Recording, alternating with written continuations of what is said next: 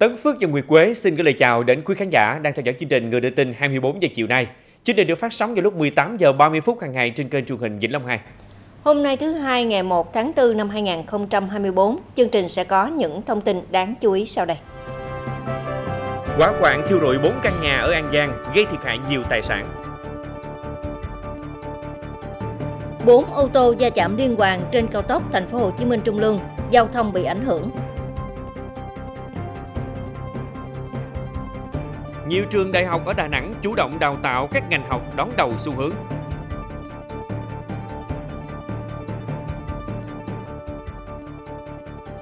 Xích lô, sản phẩm du lịch độc đáo của Đà Nẵng thu hút nhiều du khách quốc tế.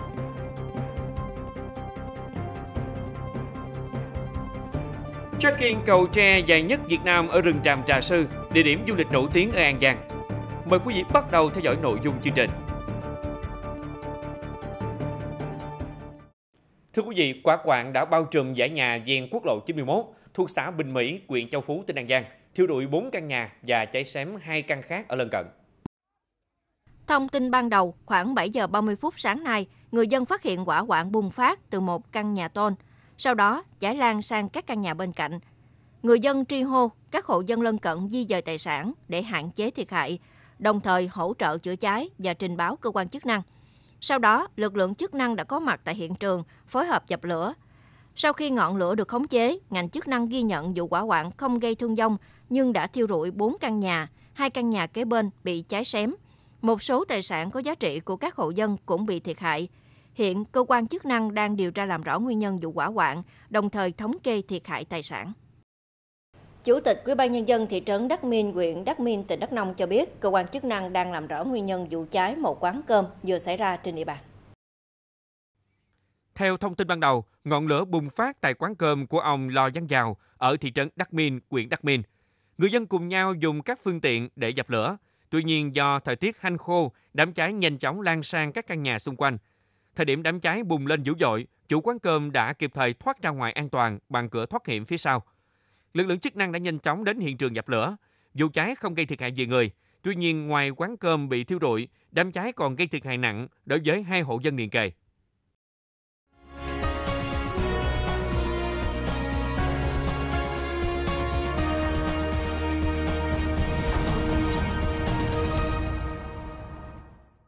Thưa quý vị, Bình Phước đang trong cao điểm mùa khô, vấn đề nước sản xuất, nước sinh hoạt luôn được các cấp các ngành và người dân quan tâm.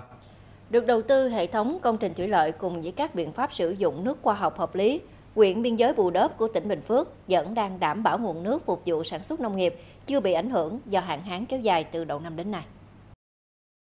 Theo Phòng Nông nghiệp và Phát triển Nông thôn huyện Bù Đốp, trong 2 năm gần đây, trên địa bàn huyện đã đầu tư các công trình thủy lợi vừa và nhỏ, chủ động nạo vét các kênh mương nội đồng. Đến thời điểm cuối tháng 3, cao điểm của mùa hạn hán năm 2023-2024, nhưng các hồ đập vẫn đảm bảo nguồn nước để phục vụ tưới tiêu và đảm bảo được sản xuất nông nghiệp trên địa bàn. Trước kia thì có một vụ thôi, là múa mùa, là nó tới 6 tháng mới thu nhập, mà không có nước. Ờ, mà hiện nay thì được cái nước, thì cuộc sống của bà con thì no ấm, ờ, lúa gạo thì đầy đủ ăn, không thiếu trong cái vụ giáp hạt nữa. Nước kia thì có một vụ thôi. Hiện trên địa bàn huyện Bù Đốp có 7 công trình hồ đập thủy lợi đảm bảo nguồn nước sinh hoạt và tưới tiêu cho hơn 3.500 hecta đất sản xuất, trong đó có hơn 1.000 hecta đất lúa.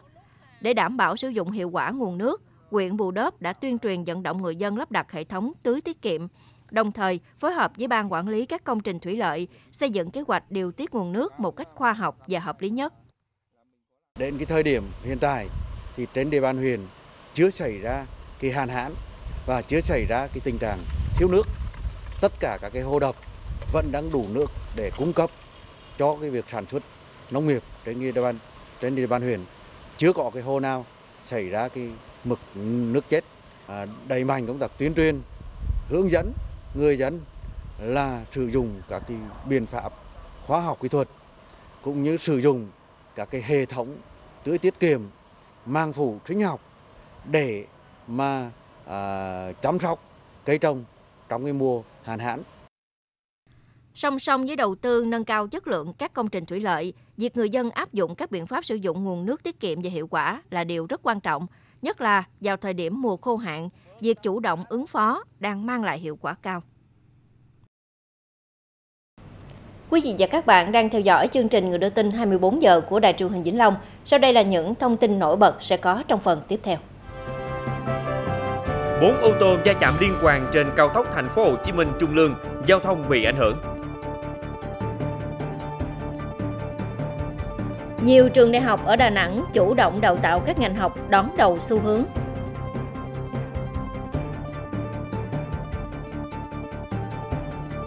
Xích lô, sản phẩm du lịch độc đáo của Đà Nẵng, thu hút nhiều du khách quốc tế.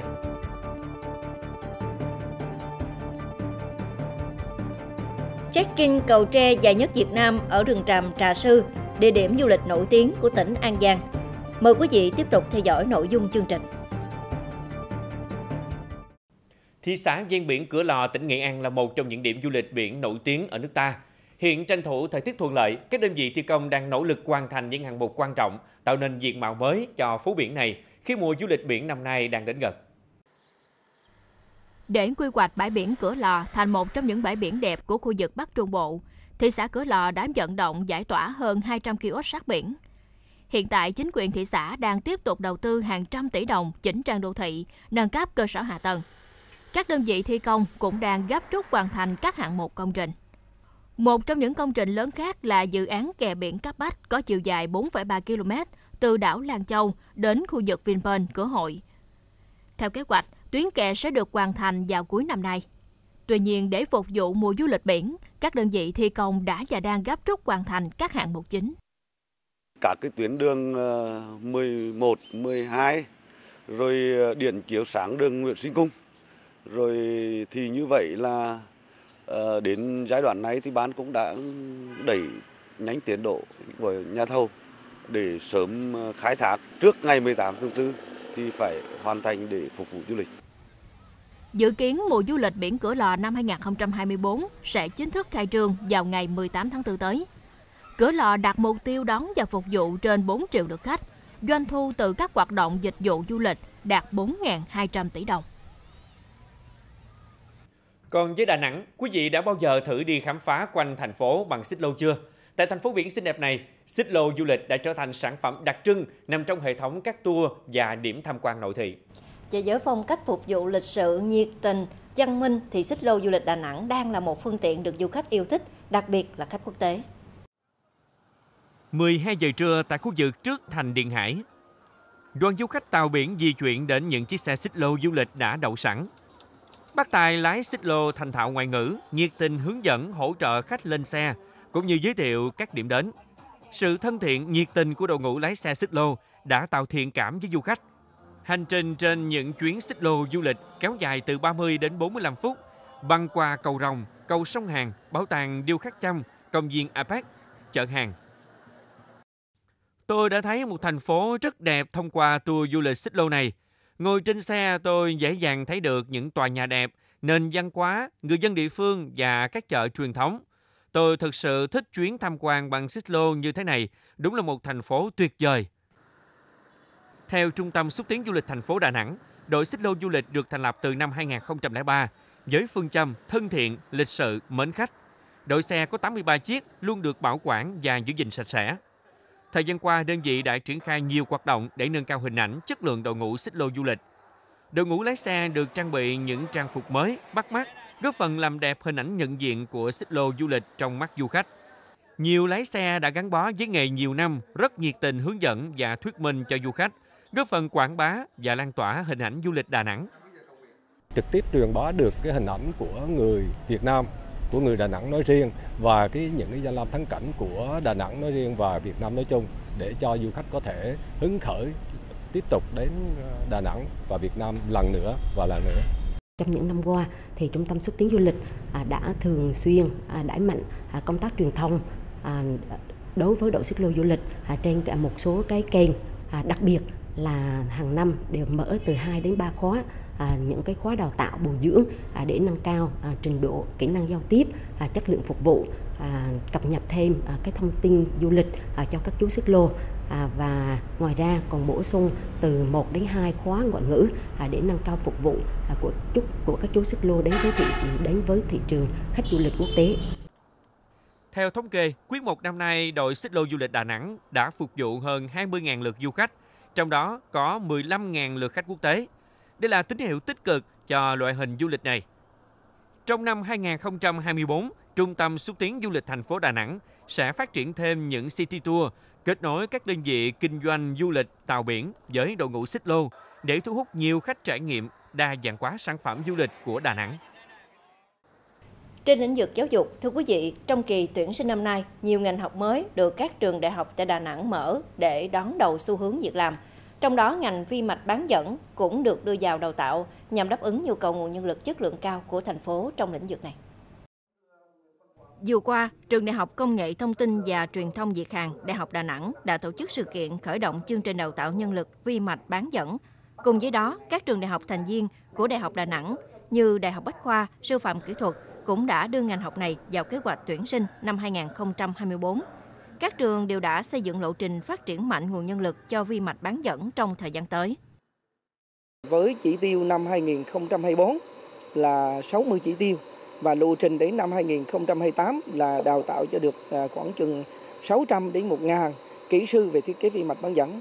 Ngoài ra thì chúng tôi cũng đã à, xây dựng kế hoạch để mở các cái à, chuyên ngành liên quan đến đóng gói kiểm thử đối với vi mạch bán dẫn. Và cũng trong năm 2024 thì chúng tôi cũng đã hoàn thành hồ sơ mở thạc sĩ thì trong đó có nghiên cứu về vi mạch bán dẫn.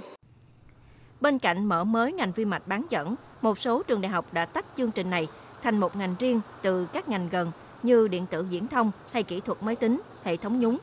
Tuy nhiên, để đáp ứng được yêu cầu tuyển dụng khắc khe của thị trường lao động, các trường cần chuẩn bị cơ sở vật chất và đội ngũ giảng viên chất lượng. Chương trình đào tạo cơ sở vật chất đội ngũ chúng tôi đã hoàn chỉnh tiếp cận với cái à, trình độ của thế giới. Thì à, hy vọng à, năm nay với à, cái phong trào mà à, chúng ta à, mở ra cái lĩnh vực thiết kế và văn dẫn thì à, thí sinh sẽ lựa chọn nhiều hơn cái ngành à, thiết kế vi mạch bán dẫn. Cùng với việc mở nhiều ngành mới đáp ứng nhu cầu nhân lực số như khoa học dữ liệu và phân tích kinh doanh hay ngành ô tô điện, kỳ tuyển sinh năm nay, các trường đại học tại Đà Nẵng còn mở mới các ngành đáp ứng yêu cầu thực tế của xã hội như ngành sư phạm mỹ thuật. Vào tháng 1 vừa rồi, Bộ đã có quyết định ban hành chính thức cho khoa giáo dục nghệ thuật trường đại học sư phạm Đại học Đà Nẵng mở ngành đào tạo sư phạm mỹ thuật. Và để có thể có được mạng ngành này thì thật sự là chúng tôi cũng đã qua một quá trình rất là dài à, chuẩn bị về đội ngũ và chuẩn bị về tất cả mọi thứ để có thể đáp ứng được về chương trình đào tạo. Việc các trường đại học mở thêm nhiều ngành mới giúp các thí sinh có thêm nhiều lựa chọn hơn và nhiều cơ hội hơn trong mùa tuyển sinh năm nay. Trong đó, sự vào cuộc mạnh mẽ của các trường đại học đối với ngành vi mạch bán dẫn sẽ sớm giải quyết được sự thiếu hụt nguồn nhân lực chất lượng cao trong ngành này nhằm thu hút các tập đoàn công nghệ lớn đầu tư và phát triển sản xuất tại Việt Nam.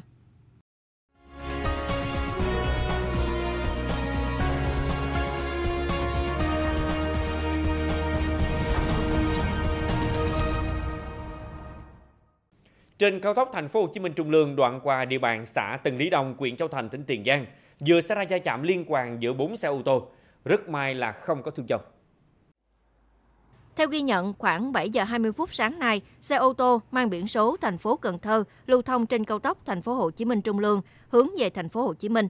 Khi đến đoạn thuộc xã Tân Lý Đông, huyện Châu Thành, tỉnh Tiền Giang, tài xế giảm tốc độ để tránh chướng ngại vật trên đường. Phát hiện tình huống xe ô tô lưu thông phía sau cũng giảm tốc độ. Tuy nhiên, hai xe ô tô khác lại không xử lý kịp, từ phía sau lao tới, gây ra chuỗi va chạm liên hoàn giữa bốn ô tô. Bước đầu không ghi nhận thương vong, tuy nhiên va chạm mạnh đã làm các phương tiện hư hỏng, nằm chắn trên làn đường số 1, khiến giao thông qua khu vực này bị ảnh hưởng. Nhận được tin báo, lực lượng chức năng đã nhanh chóng có mặt tại hiện trường để điều tiết giao thông và xử lý vụ việc. Lực lượng chức năng tỉnh Vĩnh Long vừa phối hợp bắt quả tang 5 thanh niên tụ tập sử dụng trái phép chất ma túy tại một khách sạn trên địa bàn phường 1, thành phố Vĩnh Long. Các đối tượng bị bắt quả tang từ 18 đến 19 tuổi, gồm Phạm Thái Tú, Ngô Thành Phong, Trần Thị Anh Thư, Nguyễn Thành Đạt cùng ngụ thành phố Vĩnh Long và Nguyễn Khánh Dân ngụ thành phố Sa Đéc tỉnh Đồng Tháp. Tại hiện trường, lực lượng chức năng thu giữ nhiều dụng cụ dùng để sử dụng trái phép chất ma túy. Qua test nhanh, cả năm đối tượng trên đều dương tính với chất ma túy.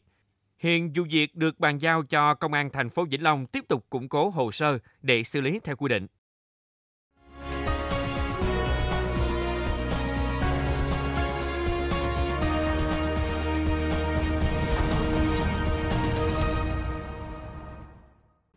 Thưa quý vị, An Giang có nhiều điểm du lịch sinh thái nổi tiếng với những sản phẩm du lịch đặc trưng. Trong đó, khu du lịch rừng Tràm Trà Sư, khu rừng ngập nước tiêu biểu cho vùng sông nước miền Tây là điểm đến ưa thích của khách du lịch. Rừng Tràm Trà Sư được đầu tư cải tạo cảnh quan rất ấn tượng và độc đáo, đặc biệt là chiếc cầu tre đạt kỷ lục cầu tre dài nhất Việt Nam. Khánh thành vào năm 2020, chiếc cầu tre được ví là cầu tre dạng bước có tổng chiều dài trên 10 km, nằm giữa khu rừng tràm nguyên sinh. Cầu được thiết kế uốn lượn để phù hợp với địa hình tại đây. Từ khi đưa vào khai thác, chiếc cầu tre này đã thu hút rất đông du khách, nhất là khách quốc tế vì tính độc đáo của công trình. Không chỉ vậy, cầu tre được cách điệu tựa rồng trúc bạch, mang lại một cảm giác thích thú cho du khách khi khám phá cảnh quan thiên nhiên nguyên sinh trù phú. Trường tràm Trà Sư có diện tích 845 hecta, phần lớn thuộc xã Văn Giáo, huyện Tịnh Biên và một phần thuộc xã Âu Long Dĩ, huyện Châu Phú, tỉnh An Giang. Đây là rừng ngập nước tiêu biểu cho vùng đất Tây sông Hậu, có tác dụng rất quan trọng đối với môi trường nước và điều hòa khí hậu cho vùng bảy núi. Vẻ đẹp tươi mát của bãi rêu san hút ở đê chắn sóng Phổ An, xã Nghĩa An, thành phố Quảng Ngãi, tỉnh Quảng Ngãi đang nhận được sự quan tâm của nhiều người dân và du khách. Hiện nơi đây đã trở thành điểm trekking được nhiều người yêu thích. Nhiều người cho rằng đây là nơi xứng đáng đến trong dịp này nếu ghé thành phố Quảng Ngãi bởi cảnh sắc tuyệt đẹp, không gian hài hòa và không khí trong lành. Rêu xanh non bám dày bờ đá, đê chắn sóng tạo nên một mảng xanh tuyệt đẹp. Buổi chiều là thời gian rất đông người trẻ tìm đến bãi rêu chụp hình và thư giãn. Không chỉ mang vẻ đẹp của biển cả, vị trí này còn là nơi lý tưởng để ngắm tượng Phật Quan Âm cao nhất Đông Nam Á ở chùa Minh Đức. Cùng với đó là nhìn toàn cảnh cầu Cổ Lũy đẹp lung linh dưới ánh nắng chiều. Còn tại Đồng Tháp, sau thời gian tích cực chăm sóc, những ngày này các bè hoa sen trồng trên rạch Cái Sơn thuộc phường 1 thành phố Sa Đéc đang đồng loạt khoe sắc, tạo nên vẻ đẹp thơ mộng cho dòng kênh này. 38 bè hoa sen với các chủng loại như sen trắng thái, sen nhật, sen hồng Đồng Tháp được trồng từ tháng 11 năm ngoái trên đoạn kênh dài khoảng 1.200m từ cầu Cái Sơn 1 đến cầu Đốt. Sau thời gian chăm sóc, sen phát triển tươi tốt và bắt đầu ra hoa. Hiện đơn vị chăm sóc cây xanh vẫn thường xuyên chăm sóc để sen phát triển và ra hoa nhiều hơn, tạo thêm nét đẹp cho đô thị và chào mừng sự kiện lễ hội sen Đồng Tháp dự kiến tổ chức tại thành phố Cao Lãnh từ ngày 16 đến ngày 19 tháng 5 tới. Đến đây chúng tôi xin kết thúc chương trình Người đưa tin 24 giờ chiều nay của Đài truyền hình Vĩnh Long. Cảm ơn quý vị và các bạn đã đồng hành cùng chương trình. Để xem lại chương trình này, quý vị và các bạn có thể truy cập vào trang web www.thvli.vn hoặc tải ứng dụng THVLI trên Google Play và App Store. Còn bây giờ, xin được kính chào tạm biệt và hẹn gặp lại.